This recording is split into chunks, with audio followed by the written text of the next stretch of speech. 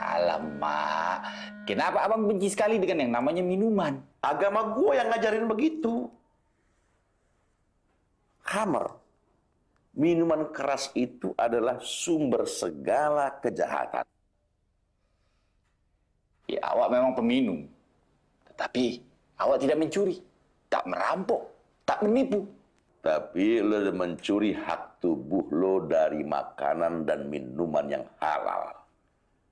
Lo merampok masa depan akhirat lo dengan perbuatan maksiat. Dan lo menipu diri lo sendiri dengan kesenangan sesaat.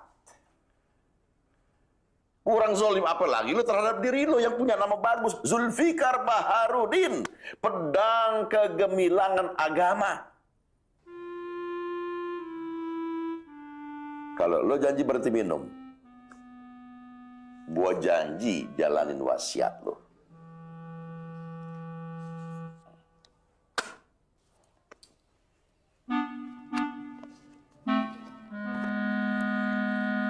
Apa dengan berhenti minum? Awak jadi orang baik. Apa dengan lo minum terus, lo masih bermimpi bisa jadi orang baik? Dengan menjalankan perintah dan menjauhi larangan Allah, lo semakin hari bakal jadi semakin baik. Insya Allah.